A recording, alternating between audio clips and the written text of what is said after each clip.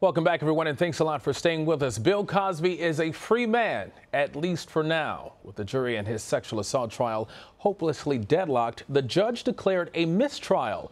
The famed comedian didn't speak after the trial, but as he looked on, his spokesperson said, quote, Mr. Cosby's power is back.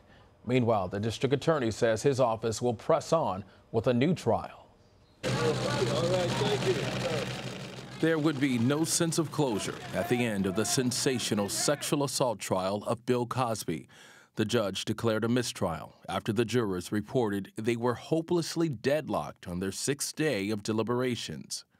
Whenever you have a case like this, um, uh, where it's a, in a sense, a he said, she said situation, they're the only two witnesses there. University of Pennsylvania criminal law professor David Rudovsky. Uh, she gives a very credible story. Um, uh, through cross examination, though, uh, the defense is able to show that she did certain things that might be inconsistent with what she said on the witness stand. Uh, those are the things that sometimes give jurors uh, significant pause. Jurors were unable to reach a unanimous vote in the case in which accuser Andrea Constand, a former Temple University employee, claimed Cosby, once known as America's TV dad, drugged and sexually assaulted her at his home in 2004. It's an old case, um, uh, many years ago. Uh, raises questions about why there was a delay in the prosecution. Uh, and fundamentally, I think what the defense was able to do was to call into question Ms. Constand's contact uh, with, with uh, Mr. Cosby uh, after the alleged sexual assault. why would you continue to have contacts with a person who assaulted you? This is about Andrea Constand and inconsistencies in her story. Cosby spokesman Andrew Wyatt.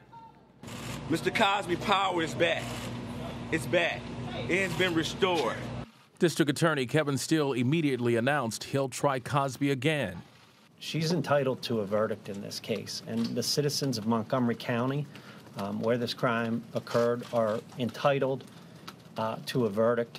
Reassuring news to Victoria Valentino, one of some 60 women accusing Cosby of sexual offenses. Justice for Andrea would have been justice for all of us. I will keep speaking out until I have no breath. But in the end, Professor Rudovsky says there will be little reprieve for Bill Cosby. He's now got to face another trial. Uh, he's an elderly guy. He's not in good health. Um, you know, his reputation, at least from my perspective, has already been seriously, seriously damaged. Uh, the fact that so many women uh, complained about him have, for a lot of people, put it in their minds that he probably did something wrong. Uh, was it criminal wrong? Uh, was it just immoral? Uh, you know, uh, it divides people. But he's now got to face perhaps the rest of his life in prison. Uh, that's a difficult situation, uh, but that's where we are at this point. All right, Robert Bianchi, former prosecutor and partner at the Bianchi Law Group, is here with me now to talk about where this case goes from here. And you said I can call you Bob, right? Yeah, that's great. All right, thanks a lot for being with us. Uh, so you have this high-profile case that the district attorney wants to retry again. Any problems ahead with that? It, uh, the inertia is against the prosecution at this point. There's no way you want to try a case a second time. Now, there's transcripts of the witness's testimony that can be used in cross-examination to attack the credibility of witnesses. So the ball is rolling downhill against them. It doesn't mean they can't succeed, but it makes it very, very difficult. You can almost see it on the face of the district attorney when he gave that press conference yesterday. But is this the reason that the former district attorney refused to try the case? A while back. Is it sort of giving him some credibility? Well, what concerns me is that to begin with? yeah, that it shouldn't be a political issue, and it seemed very political in terms of what he was saying. So the case wasn't brought for a very long time. That's something that's clearly going to be in the jurors' minds. There's no evidence to support a lot of what it is that the victim, quote unquote, victim in this case is saying. So the prosecutor's making this decision, I thought, very prematurely and quickly, uh, more for media purposes in the court of public opinion as opposed to court of law. I would like to sit down and find out, if I can, what exactly exactly went wrong with this case. So, what does it say when the prosecutor presented their side uh, for about four or five days? The defense argued for six minutes. The jury deliberates for six days. Longer right. than the trial lasted. Yeah, this jury uh, clearly didn't get the facts. I mean, not that they didn't get it, but they were asking for factual testimony to be read back, law to be read back, reasonable doubt to be read back. I mean, they did their job, but it was clear that they weren't convinced, based upon the many inconsistencies brought out by the defense, that the case was proven beyond a reasonable doubt. And the uh, spokesperson, Andrew Wyatt, for uh, Cosby, uh, sort of got ridiculed by the judge for claiming victory and, and calling this a win uh, early on before the decision to uh, declare this as a mistrial. Uh, is that a bad step for Cosby's defense team to be saying, okay, you know what, we won. This is a win for us? Well, anytime you can keep your client from being behind bars, it is a win. So, in a certain sense, there is no doubt about that. That is the attitude of the defense.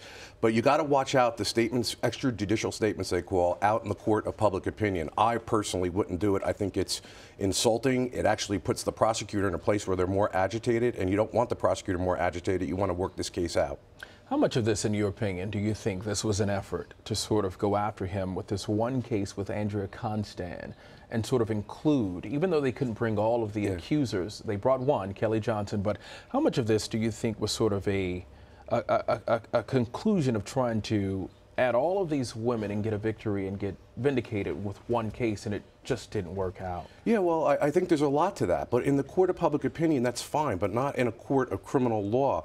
You can't be bringing all these extraneous issues in. It's violative of the evidence rules. And if Cosby had been convicted here because of that one other person that was allowed to testify, I'm pretty confident that the case would have been reversed because it's not a trial about character assassination. It's a trial about Miss Constand that night and what happened on that night. And you just can't keep moving the goalpost closer to the ball, I like to say, because the prosecutor can't get the ball over the goal line for a conviction. So there's a lot of evidential issues in this case, and to me, the attempt by the prosecutor to include more women in this potentially down the road is going to cause a reversal. And again, it's because they don't have sufficient evidence that they even attempted to do it in the first place by putting other witnesses on. So will this have any type of impact on the civil case that's in California?